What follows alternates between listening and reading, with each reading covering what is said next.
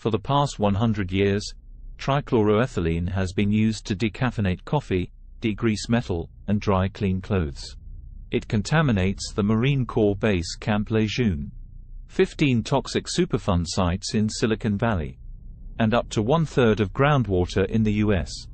It causes cancer, is linked to miscarriages and congenital heart disease, and is associated with a 500% increased risk of Parkinson's disease.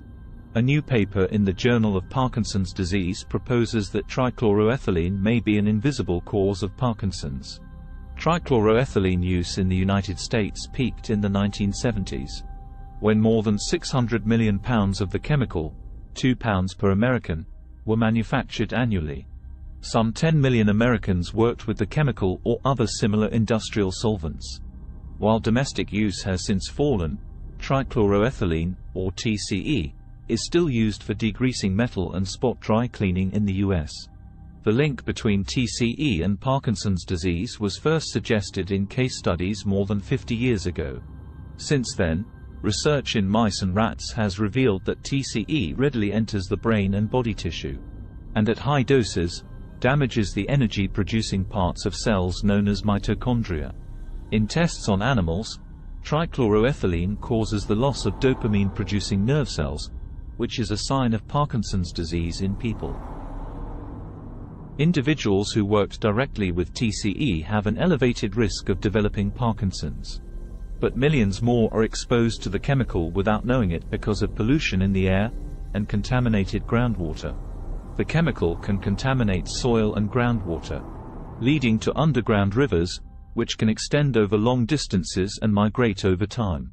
One such plume associated with an aerospace company on Long Island, New York, is over 4 miles long and 2 miles wide, and has contaminated the drinking water of thousands. TCE can readily evaporate and enter people's homes, schools, and workplaces, often undetected. Today, millions of people who live, learn, and work near old dry cleaning, military, and industrial sites may be breathing in toxic air because of this vapor intrusion. The study's authors propose a series of actions to address the public health threat TCE poses. They note that contaminated sites can be successfully remediated, and indoor air exposure can be mitigated by vapor remediation systems similar to those used for radon. They say that more research is needed to find out how TCE causes Parkinson's disease and other diseases. The authors call for finally ending the use of these chemicals in the U.S.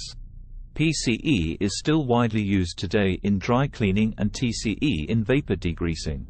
Even though the EPA said in 2022 that chemicals like TCE pose an unreasonable risk to human health. The federal government has not yet banned their use.